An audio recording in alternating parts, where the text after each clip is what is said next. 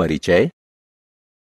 बच्चों, आपने देखा होगा कि ब्लैक बोर्ड चौक, कागज़ जैसी चीज़ों को बीच से मोड़ने या काटने पर हमें दो समान भाग प्राप्त होते हैं। इन वस्तुओं को सममितीय कहा जाता है और वह रेखा जहाँ से वस्तु को मोड़ा या काटा जाता है, वह सममिति रेखा कहलाती है।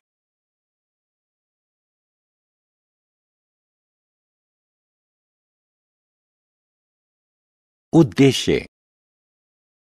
इस पाठ के अंत में आप निम्न करने में सक्षम हो जाएँगे। सममितीय वस्तुओं को परिभाषित करना। सम्मिति रेखा को परिभाषित करना। विभिन्न आकृतियों में सम्मिति रेखाओं की संख्या ज्ञात करना। सम्मिति रेखा के रूप में दर्पण रेखा की व्याख्या करना। दैनिक जीवन में सम्मिति के अनुप्रयोग का पुनरावलोकन।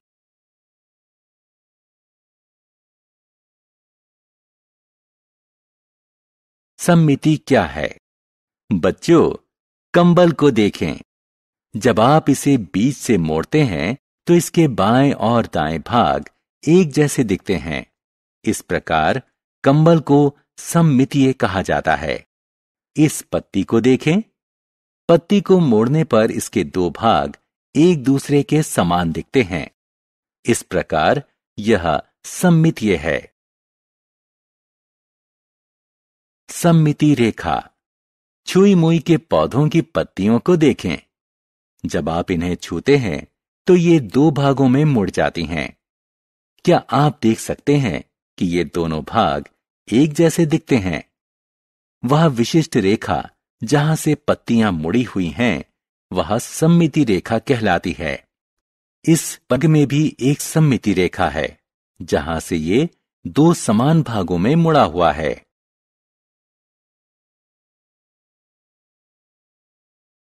सम्मितीय आकृतियाँ बनाना। कपड़े का एक टुकड़ा लें। इसे बीच से दो भागों में मोड़ें। अब इस टुकड़े के बीच से दो छोटी छोटी गोल परिधीय आकृतियाँ काटें। तह खोलने पर आप सम्मिति रेखा युक्त सम्मितीय आकृति पाएँगे, जहाँ से इसे दो समान भागों में काटा जा सकता है।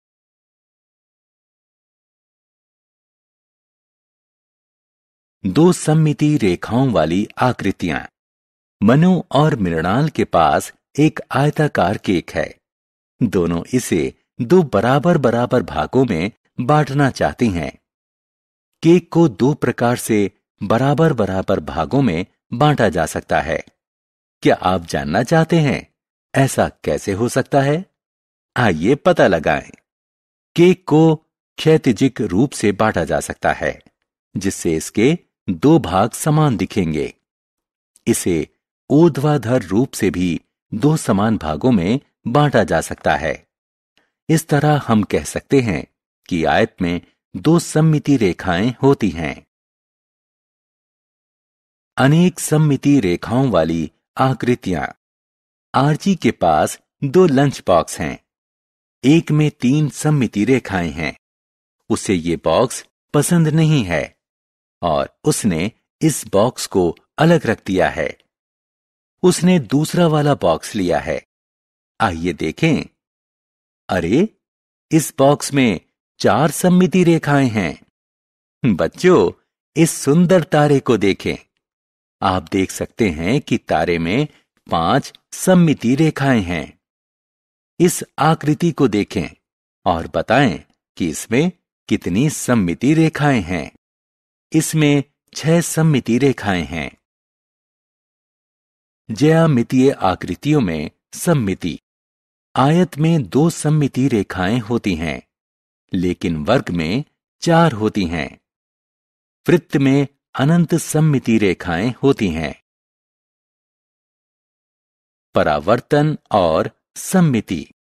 छात्रों, आपने अवश्य ध्यान दिया होगा कि जब आप दर्पण के सामने खड़े होते हैं, आप और आपका प्रतिबिंब एक समान होते हैं।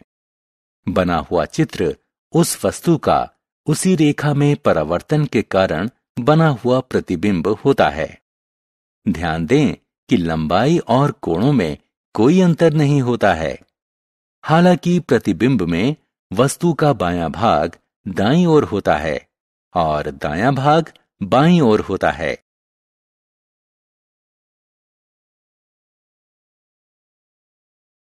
परावर्तन सम्मिति के अनुप्रयोग।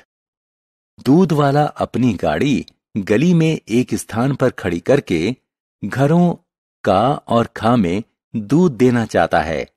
क्या आप बता सकते हैं कि दूध वाला गाड़ी कहाँ खड़ी करे कि उसे दोनों घरों का तथा खा में दूध देने के लिए कम से कम पैदल चलना पड़े? आइए ज्ञात करें। यहाँ हम परावर्तन सम्मिति का उपयोग कर सकते हैं।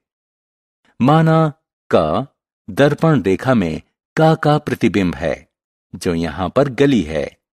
अब का और खा बिंदुओं को मिलाएँ। आप देख सकते हैं कि दर्पण, रेखा और का खा बिंदु पी पर मिलते हैं। इस तरह श्याम को अपनी गाड़ी बिंदु पी पर खड़ी करनी चाहिए। प्रत्येक स्थान पर सम्मिति। बच्चों, आपको जानकर आश्चर्य होगा कि सम्मिति हमारे दैनिक जीवन का एक अंग है, क्योंकि इसका इस्तेमाल कला, वास्तुशिल्प, टेक्सटाइल, टेक्नोलॉजी, वस्त्रों तथा आकृतियाँ तथा रंगोली बनाने इत्यादि में किया जाता है। आप सड़क पर जो चिन्ह देखते हैं, वे सम्मिति होते हैं। इस पत्ती को देखें। ये सम्मितीय है। इस तरह यहाँ तक कि प्रकृति में अनेक सम्मितीय वस्तुएँ हैं।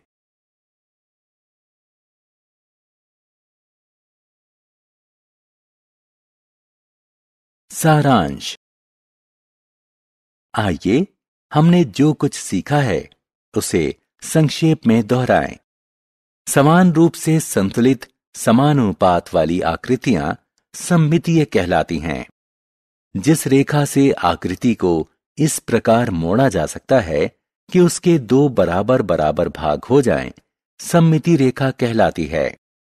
सम्मितीय आकृति में एक दो या अनेक सम्मितीय रेखाएँ हो सकती हैं। कोई वस्तु और उसका दर्पण में बना प्रतिबिंब दर्पण रेखा के संदर्भ में सम्मितीय होते हैं। हमारे दैनिक जीवन में कला, वास्तुशिल्प, टेक्सटाइल, टेक्नोलॉजी, अभिकल्प रचना इत्यादि जैसी चीज़ों में सम्मिति पाई जाती है।